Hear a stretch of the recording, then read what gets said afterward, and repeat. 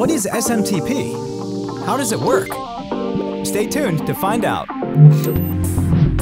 Hello, and welcome to Mailtrap Videos, where we explore the world of emails.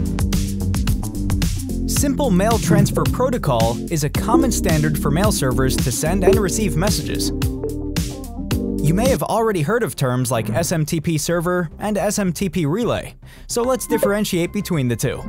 An SMTP server is an email server that uses the protocol to send and receive emails. SMTP relay, on the other hand, is a process of transferring emails between SMTP servers hosted on different domains.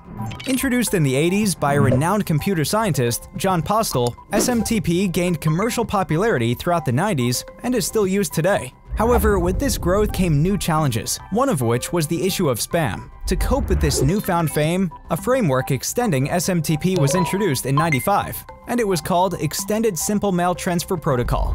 ESMTP had three main changes. The EHLO command was introduced to signal that ESMTP is supported. Service Extensions Registry was created to inform on additional SMTP capabilities. And lastly, new command options were added, such as size, ENVID, RET. Over the next decade, the protocol underwent further changes and was upgraded with a submission standard separating messages into submissions and transfers. Initially designed only for simple message transfers within one organization, a service extension for authentication security measure was introduced for sending outside the company. This enabled email clients and servers to authenticate each other. That's all about SMTP, folks. Thank you for watching our overview of SMTP.